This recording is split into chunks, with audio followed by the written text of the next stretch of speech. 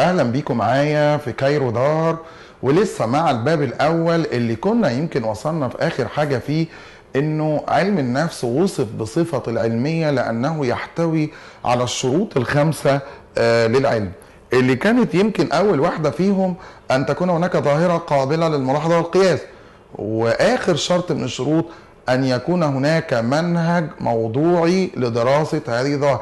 اذا إحنا اتفقنا إنه عشان العلم ياخد مشروعيته كعلم لابد من وجود منهج علمي أو أداة علمية تستخدم لدراسة هذه الظاهرة حتى نخرج بنتائج دقيقة.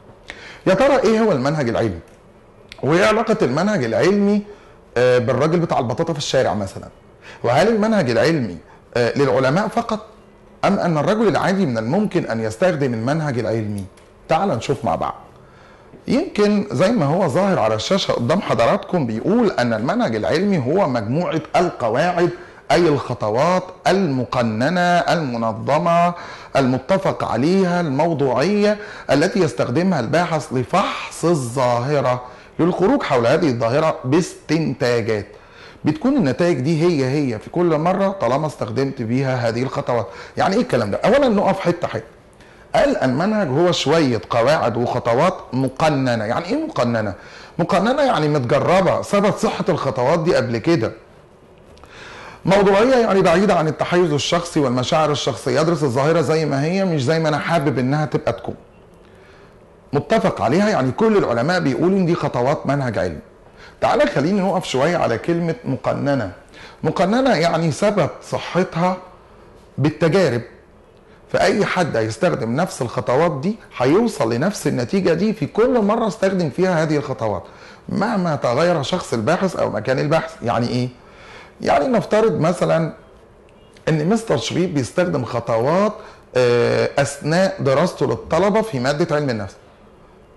الخطوات دول سبعه في كل مرة بيستخدم الخط زي مثلا عرض ملزمة قوية أبدأ بجزء بسيط في الأول بعدين نعلي نسبة الجزء ده أكتر فاكتر نعمل امتحان كل أسبوع امتحان كل شهر جوائز تشجيعية آه، آه، امتحان بروفا بتاع آخر السنة آه، لغاية ما نعمل حاجة اسمها ليلة الامتحان فنوصل في الآخر لل 50 من 50 طب يا ترى بقى الخطوات دي مقننة؟ آه طبعا متجربة كل سنة بنستخدمها بنوصل لنفس النتيجة وهي الدرجة النهائية. طب يا ترى لو حد تاني غير مستر شريف استخدم الخطوات دي ولا هي خاصه بمستر شريف بس؟ أكيد لأ. هذه الخطوات أي حد هيستخدمها هيوصل لنفس النتيجة طالما استخدم نفس الخطوات. يعني شيل مستر شريف وحط سين أو صاد من المدرسين شيل علم النفس حط الفيزياء حط الرياضة حط التاريخ برضه هنوصل للدرجة النهائية. لأن المنهج العلمي ملوش دعوة بالأشخاص ولا بالأمكنة. طب إيه علاقة الكلام ده بالراجل بتاع البطاطا؟ تصدق بقى إن الراجل بتاع البطاطا ممكن يستخدم منهج علمي ببيع البطاطا؟ آه والله. يعني إيه مثلا؟ بيحط عربية البطاطا مثلا على زاوية شارع ما ينفعش في شارع جانبي عشان الناس مش هتشوف. بيبدأ يحرق بعض البطاطات الصغيرة كده يشويها عشان تطلع ريحة في ساعة الظهر واتنين الظهر خروج الطلبة من المدارس والموظفين. على كل بطاطايه بيبيعها بيبيع بطاطا هدية ويبيعها كده على ورقة مكتوبة بالمائي عم إبراهيم بتاع البطاطا مع ابتسامة لطيفة لكل واحد بيبيعها متهيألي أي حد هيبيع بطاطا بيعمل نفس الخطوات هيبيع كتير. ما هو ده منهج علمي ملوش دعوة ولا بالأشخاص ولا بالأمكان. تعالوا نشوف المنهج العلمي. الحقيقة عندنا آه، مجموعة من المناهج العلمية الخطيرة جدا نحب نعرض ليكم منها النهارده منهج الحقيقة. آه، مش أي حد من الباحثين العلميين يقدر يستخدمه وهو منهج الاستبطان. ما هو منهج الاستبطان؟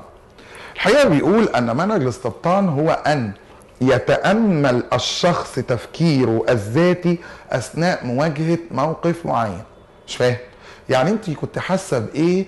آه لما كنت قصاد ورقة امتحان العربي السنة اللي فاتت آخر السنة كنت حاسة بإيه؟ بالخوف طبعا. طب ما هو ده استبطان كنت حاسس إيه؟ آه لما قابلت واحد بتحبه جدا بقالك كتير ما شفتوش وفجأة لقيته قدام بالسعادة الغامرة. ما هو ده استبطان الاستبطان من يتأمل الشخص تفكيره الذاتي أثناء مواجهة موقف معين. كنت حاسس بإيه أثناء مواجهة الموقف ده؟ بالسعادة بالحزن بالخوف بالغضب بالدهشة. كل ده اسمه استبطان. يمكن أول حد استخدم منهج الاستبطان كان آه، أفونت سنة 1879 لكن الحقيقة لقينا مشكلة خطيرة في هذا المنهج. يا ترى إيه؟ إن المنهج ده منهج متحيز مش موضوعي ذاتي متحيز لصاحبه. يعني إيه مش فاهم؟ يعني كده. لنفترض زميلتك في الفصل الدراسي آه، هي اللي كسبت الجايزة النهارده دبدوب من المدرس بتاعها اللي طلعها الأولى على الفصل لأنها كانت أشطر واحدة في المجموعة. زميلتك تقول لك إيه رأيك في الدبدوب النهارده؟ فتقول لك فتردي وتقولي لها آه حلو جميل الدبدوب. بس نسيت أقول لكم حاجة مهمة قوي لما المدرس بتاعك سألك كنت حاسة بإيه وزميلتك بتاخد الجايزة وطالعة الأولى على المجموعة النهارده؟ فتردي وتقولي طبعا كنت فرحانة جدا دي حبيبتي. يا ترى انت كنت فرحانة بجد؟ يا ترى الاستبطان اللي انت عملتيه ده كان حقيقة وصح؟ ولا كان حاجة تانية؟ خدنا الكاميرا ومشينا ورا البنتين ماشيين في الشارع من غير ما ياخدوا بالنا منهم. ما خدوش بالنا منهم خالص. الحقيقة البنتين الأولى بتقول للتانية إيه رأيك في الدبدوب اللي أنا خدته؟ فالتانية تقول برافو برافو كان دبدوب حلو قوي جميل الحقيقة شوية بتقول لي لا بس الفروة بتاعته حلوة قوي بجد إيه رأيك؟ تقوم التانية تقول لها بقول لك إيه دبدوب إيه اللي أنت فرحانة بيه؟ دبدوب إيه يا ماما؟ ده أنا أقدر أجيبه لك بخمسة جنيه من على الرصيف دبدوب إيه يا ام دبدوب أنت اللي فرحانة بالدبدوب الله أنت بقى ما كنتش فرحانة لزميلتك. ده الاستبطان اللي أنت عملتيه كان استبطان خاطئ. ده أنت كنت منافسينها ومتضايقة منها وبتكرهيها بقى ما كنتش فرحانة ليه. لذا قلنا الاستبطان دايما ما بيكونش إذا ما أخذ بهذه الوضعية هو غير دقيق. المهم علماء النفس قال لك لا ما ينفعش المنهج يبقى ذاتي ومتحيز وبعيد عن الموضوعية كده. فبدأوا يعملوا منهج الاستبطان تطويرة. عملوا يا ترى إيه؟ بدلا من أن يستبطن الشخص خبراته الشعورية أو الذاتية ويضحك عليا بمشاعر هي مش موجودة جواه لا. بدأت على الشخص ده تطرح عليه مجموعة من الأسئلة. الأسئلة دي الحقيقة شكلين أو نوعين.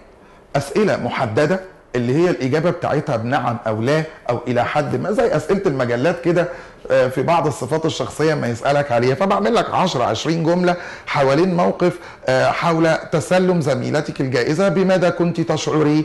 10 15 موقف كده كل موقف منهم الإجابة فيه يا نعم يا لا يا إلى حد ما. وكل واحدة طبعا ليها درجات نعم مثلا تاخد ثلاث درجات آه لا تاخد درجة واحدة إلى حد ما تاخد درجتين. وليكي إجابة واحدة في كل جملة من العشر وبجمع الدرجات بعد كده وبطلع بقى درجة معينة. عند درجة معينة انت فعلا كنت فرحانة لزميلتي. عند درجة تانية كنت نص نص. عند درجة تالتة أنا ما كنتش بقى بجد فرحان لها خالص.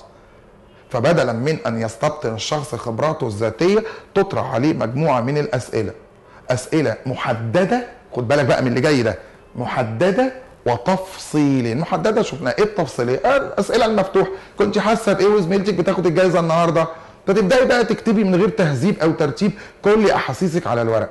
ومهما حاولتي على فكرة عشان بعض الناس قدامي أهو يقول لي بس ما هي ممكن تضحك علينا برضه. أقول لك لا مهما حاولت أكيد ما بين السطور هيبان حقيقة مشاعر البنت تجاه زميلتها. وبكده عن طريق حاجة اسمها التقارير المتشابهة أو الخصائص المشتركة ما بين إجابات الأسئلة دي وإجابات الأسئلة دي. ودي الحقيقة هتمثل حقيقة مشاعرك في النهاية أنت فعلا كنت فرحانة لزميلتك بجد ولا ما كنتيش فرحان؟ الحقيقة ده نوع من المناهج وزي ما قلت في البداية مش أي حد يعرف يستخدم المنهج ده إلا إذا كان يعني متخصص قوي في علم النفس. لكن العلماء برضو بيقولوا رغم إن المنهج ده شكله لطيف لكن مش دقيق وصعب. لذا طلع منهجين أقوياء تانيين منهج التجريبي والمنهج شبه التجريبي. بمناسبة المنهج التجريبي بيقولوا إنه المنهج التجريبي هو أدق المناهج العلمية على الإطلاق. يا ترى إيه هو المنهج التجريبي؟